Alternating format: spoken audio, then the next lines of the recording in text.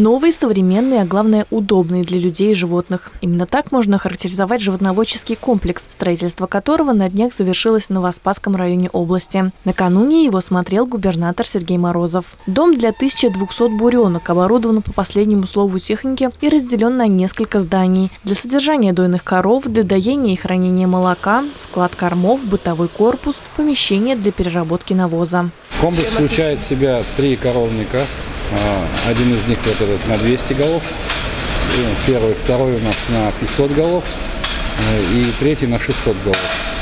Э, значит, все связаны галереями,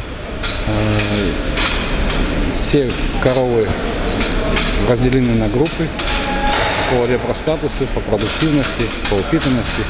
И приходит в дайный зал на дойку каждое свое время. В хозяйстве даже есть своя смотровая площадка. Отсюда через камеры видеонаблюдения и специальные датчики, установленные в коровниках, сотрудники могут наблюдать за буренками 24 часа в сутки. Каждое утро протокол составляет программа, она же и анализирует. Мы только принимаем решение,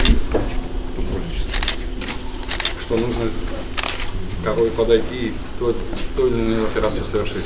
По словам работников фермы, у них телочки чувствуют себя как никогда счастливыми. Об этом свидетельствуют показатели. В сутки в хозяйстве получают до 14 тонн молока. При том, что пока в новый комплекс завезено лишь 400 голов. На полную мощность планируется выйти к маю следующего года. Анна Тищенко, Юрий Тимонин. Новости Ульяновской правды.